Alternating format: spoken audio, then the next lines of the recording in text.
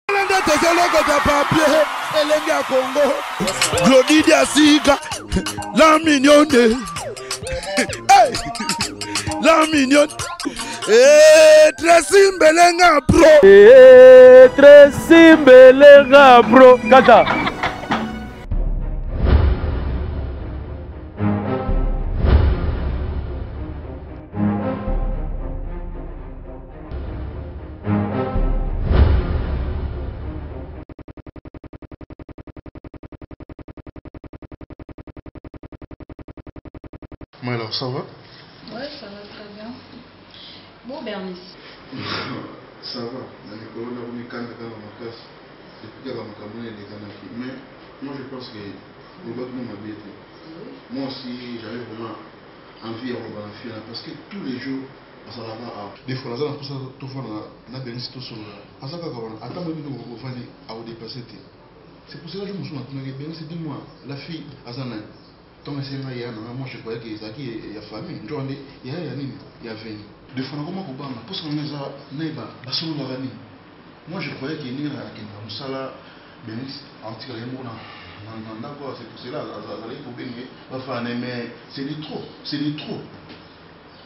Donc nga moko nakomaki na posa na nayebisa fille wana na comprend te ndenge oyo akima moko oyo olobi yango esali nga mabe makasi. Nga pe nakamwaki eh ba tango nasali ah nazomona ye azoya yango na ngai nalobeli kaka po esila mbala moko akata makolo Beatrice aza mwasi ya libala eh lokola esi esili esili Beatrice aza mwasi na yo lokola naloba ebongo esi esili esili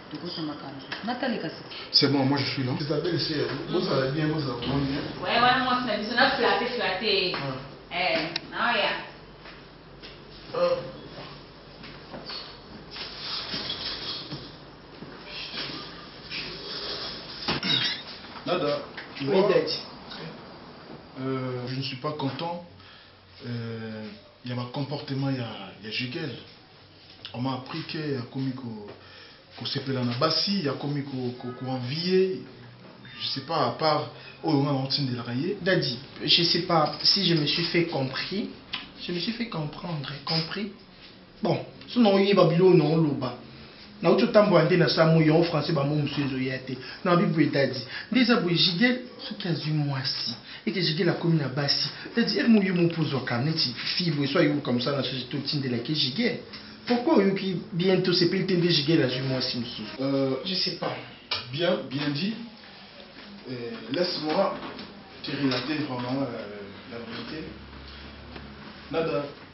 Tu vois na fief na fief na biso euh eza na ba esprit oyo esiumaka par ci par là et puis tout ce que je fais eza hasard te hein Jugel euh esengaki azala bongo po a herite ba ba bien wana nionso to aza na ngo c'est pour cela mutu nionso to azalaka na mbongo te parce que l'argent l'argent n'est pas facile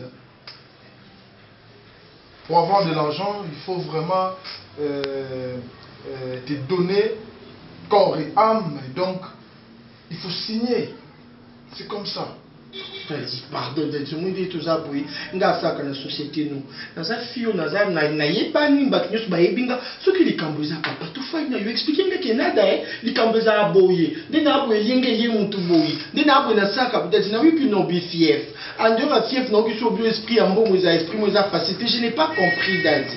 Nada l'argent n'est pas facile hein euh, c'est pour cela tango omonaka bilenge bana basi bayaka awa na ba maman bazoya koluka mosala na refusaka bango c'est pour ce n'est pas pour rien c'est parce que kuna baza kaka na besoin ya bana mibali et bana mibali oyo oyo tango ngai nazobima na bango et puis là-bas bazo recevoir oyo oyo ya bango oyo ezosenga bazwa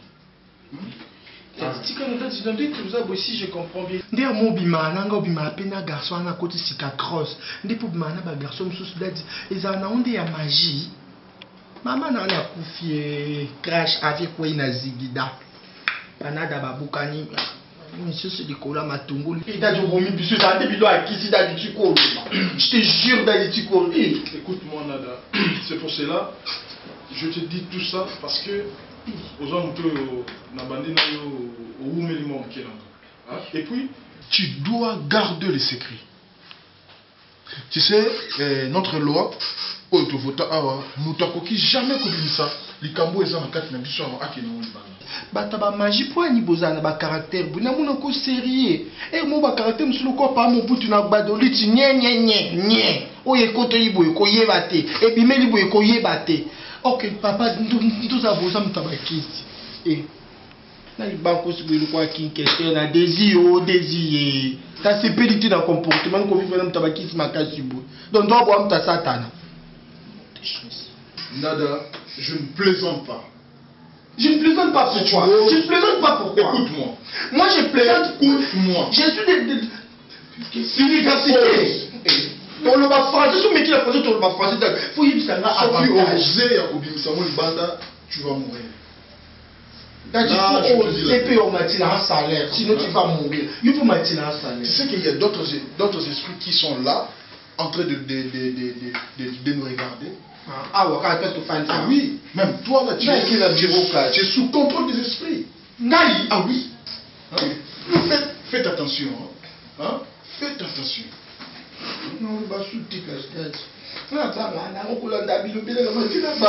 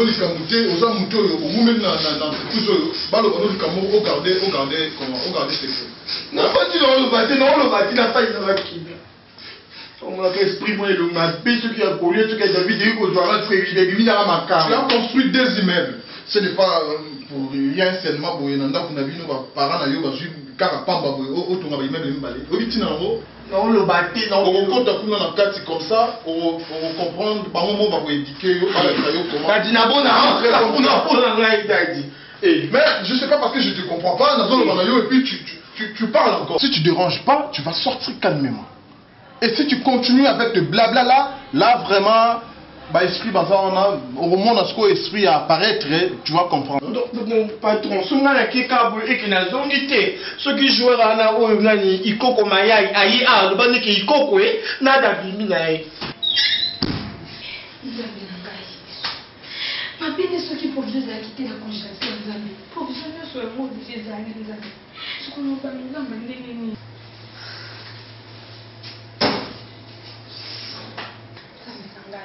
Pasi mayele ya moto esuki nzambe ya yo nde ebandi seigneur rosi abali ngai ayebi teke nayebi olamba te seigneur moto sunga nga pasi ya yo wana bengani Musuka wapi nzambe aide ngai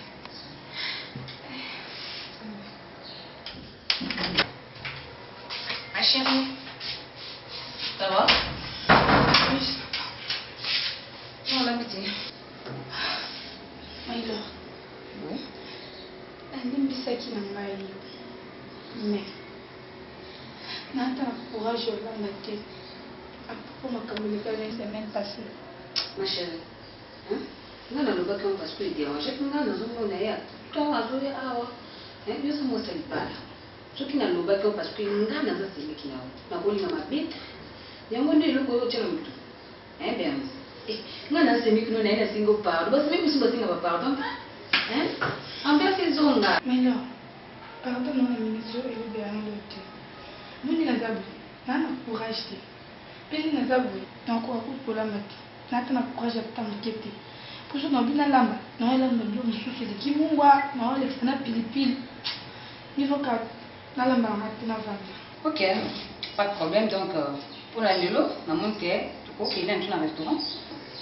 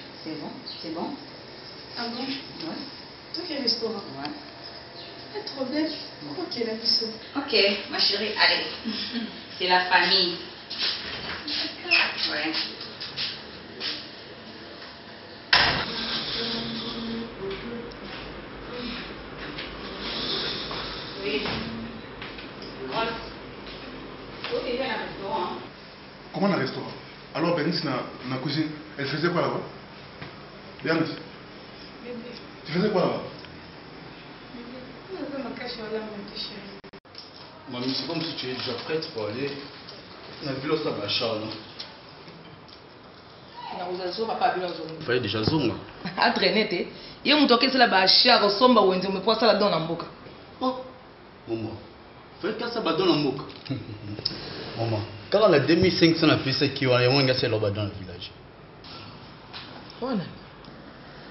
Et puis ozo koto ozo toke. Bonjour maman. Lina. Lina. Ya wapi? Maman, bungi ngai. Ndaka Lina moko abando ya ndako. Lina abando ya ndako. Nayebi yo te. Ah maman, bungi ngai. Ah, je suis désolée hein. Nayebi yo te.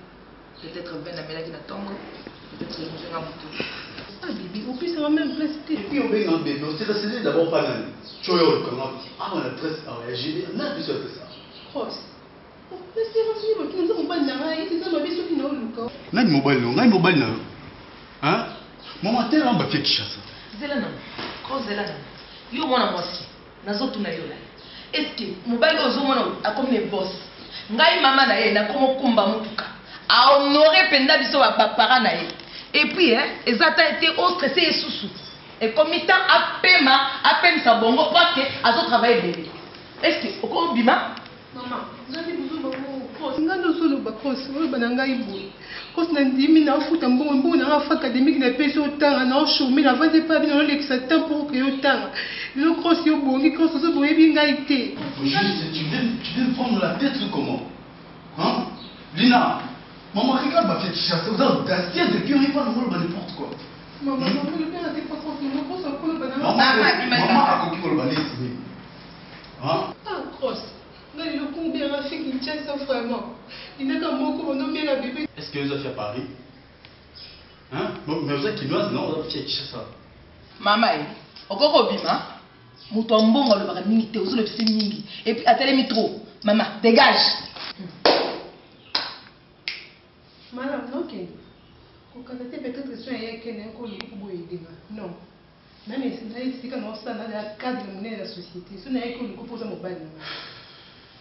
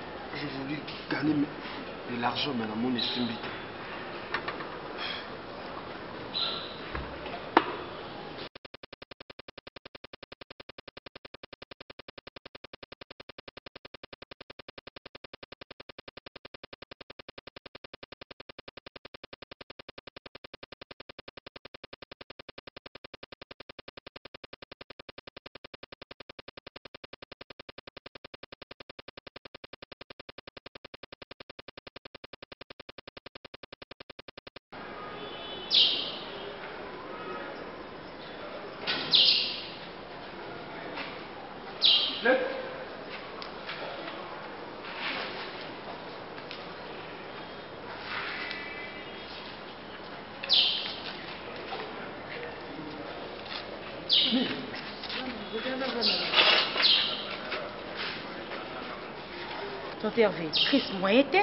Fièvre ozo kita te na biso na mona to moto makasi. Ah bon? Okay. Nga pe na miki ko ko essayer ya ko bongisa groupe oyo pesi solo. C'est pour cela na bina mekano ko luka. Mutami kasi a travailler yango. C'est ce qui m'a étonné. Niclette ayebisaki nga ke yo oza économiste. Mais ndenge nini nazo kamwa ozo bongisa groupe oyo ndenge nini? Maman, vous avez tellement raison. Nga naza économiste. Nayokaki somme ya mbongo moko boye moto akobongisa groupe oyo ekobima awa. C'est pour cela nayaki na essayer ya kobongisa. Mais malheureusement namoni coup circuit esali. Yango bomoni nga nazobongama na lata ntango nazobima bino mpe bozokoma. Ozo bani ke awa ozo sala sa okoki. Mais oza mbongo ya ndako.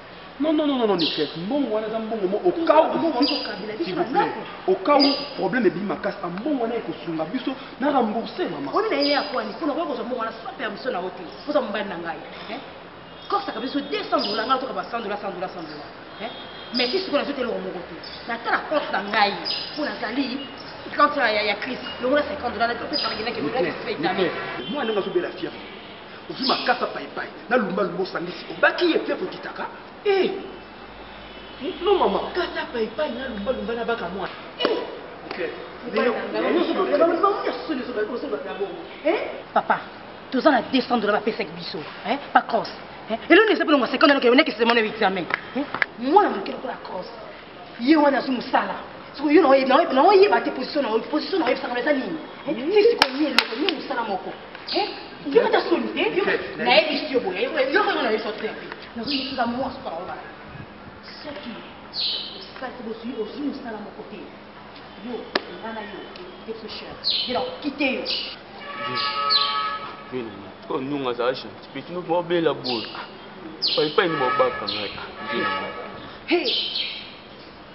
nga moto nauta mboka nayebi bakisi nyonso ndenge akosala natikala koyoka likambo ya na nkasa ya paipai na lumbalumba babaka moto soki azosa fiere oza koboma moto bon petit ne t'en fais pas olie ya makasa paipai bakobako ata makasa manga sende eh, wa cris mama tokema tokema cris tokema eh.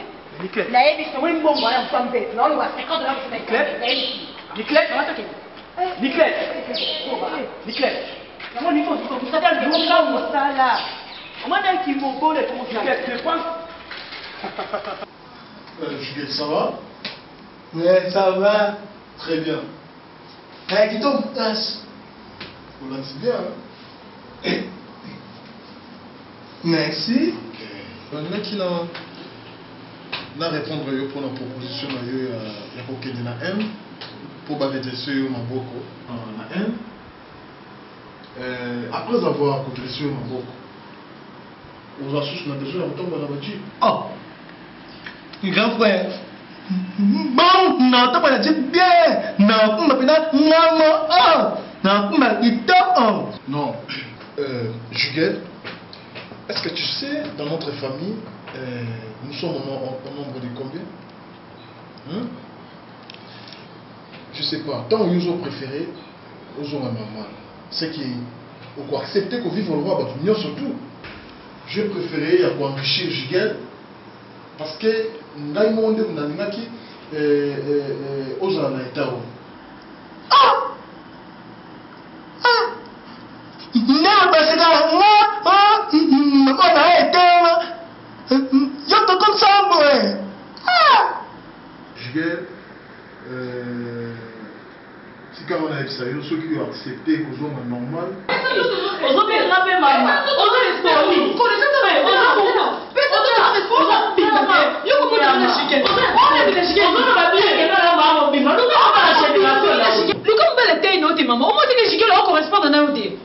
Eh, ta batu misu otula to nini?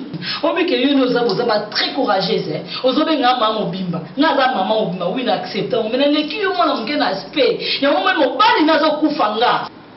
Ah! Biaka! Kevin! Ah! Ata ndo na boga. Tuso na misa ya na wai. Ah! Yana ni ngani makama boete. Ok, c'est comme ça que vous vivez. Hein? Chibel, les Andes au Ghana qui n'a eu, que Basse va dans le son et là. Hein? Maintenant, qu'est-ce que moi, moi, moi je gagne Non, papa, Ngana Juliette te vivra déjà. Hein? okolo na ndenge mabe te eza na ndenge mabe te papa na ye nde otala na ye juste okolanda mobali na ngai ça fait longtemps tokutana te yango na ye otala ye en tout cas Eh, nga jigel a mobali na nga omona nga ti nakenda oluka mosala kamara na nga nadamta memanga awa yo ozala nani oloba na nga yo vraiment ok c'est c'est qui encore euh, c'est bianca oui ah oui, oui, oui. comme ça sortez sortez d'abord moi je, je discute avec jigel merci grand frère okay.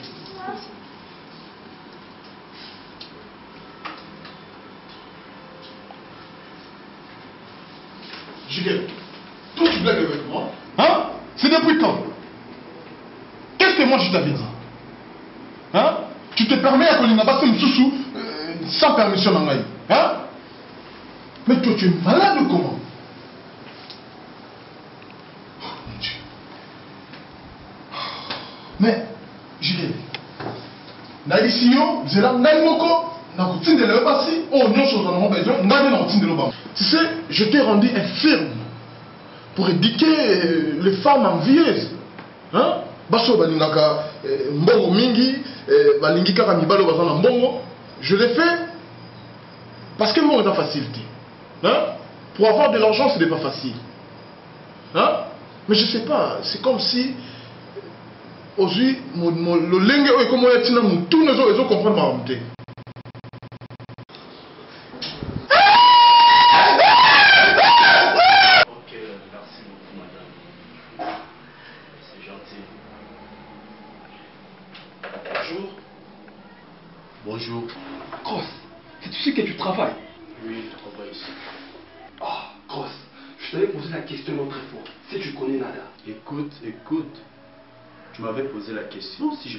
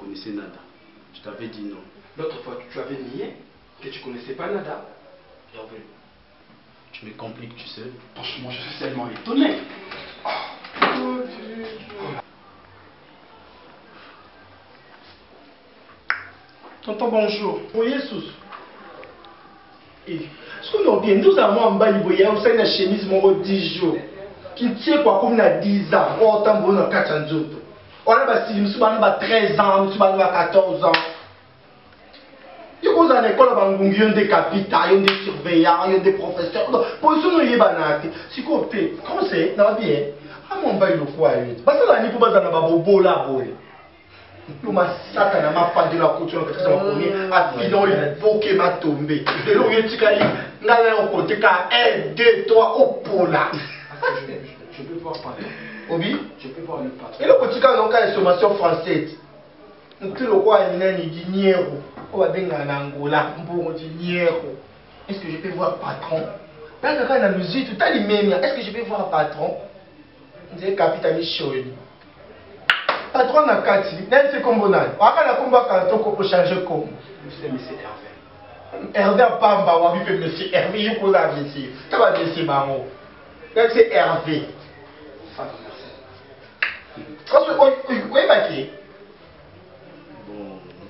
Je me rappelle plus de lui. Quand on avait c'est kitoko boko yeba mutu ya chemise à mère pondu boye. Je me rappelle plus de lui. Moi chemise oyo yaya. Eh chemise oyo. So mungi ya sur et sur tina kati ba chemise ba veste ba ba chemise ba roba ba cross ba lata ka jamais okota na salle.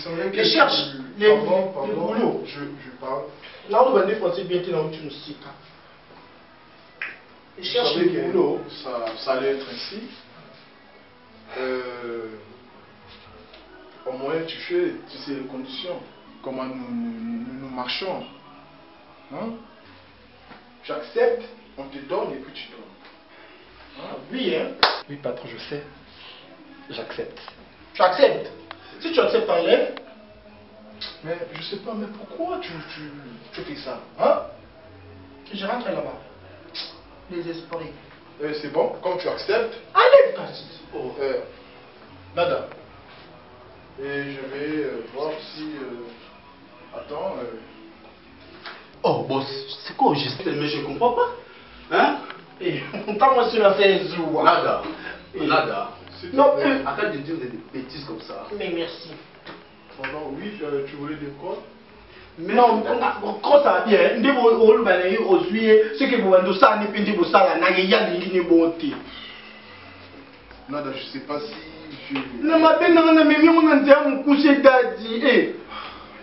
na biyo okoka omona bozala ya boye oui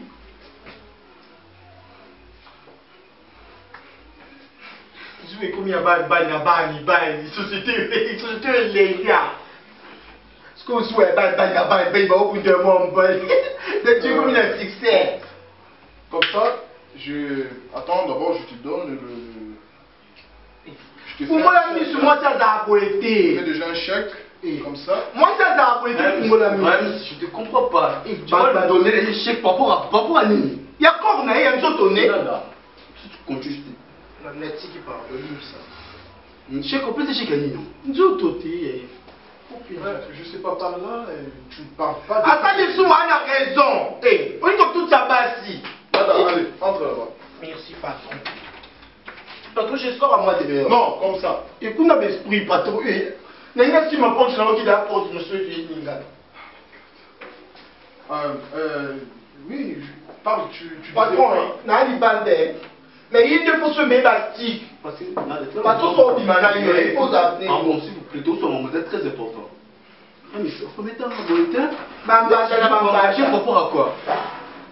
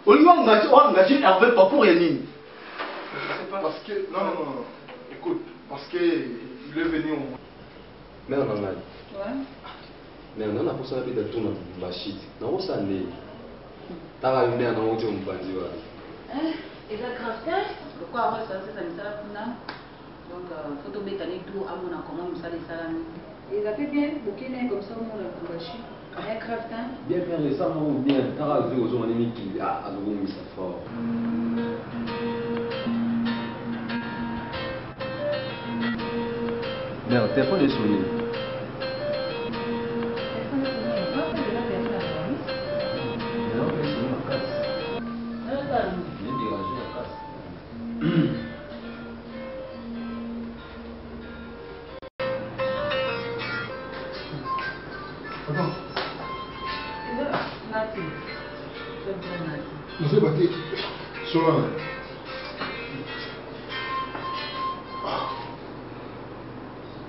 Sono ne ondire bernice.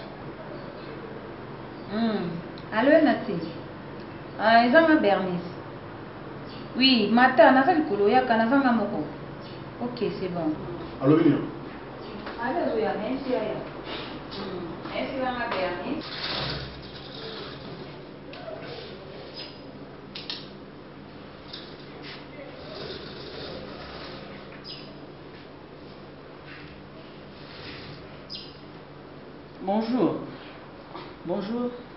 Nazo leka na ngai Bernice nde moto abengi nga yango nga lokola pe nazalaki kaka aux environs awa na bi naya nayoka ye comme ça na kende na ngai. Hum moto ko alokuta hein Bernice moto abengi ti obengi Bernice nga nde moto nayembi telephone Bernice te moto ayembi telephone ozo mona te kozwa kobebisa foyer ya bato. Ah bon Bernice moto ayemba ye telephone te?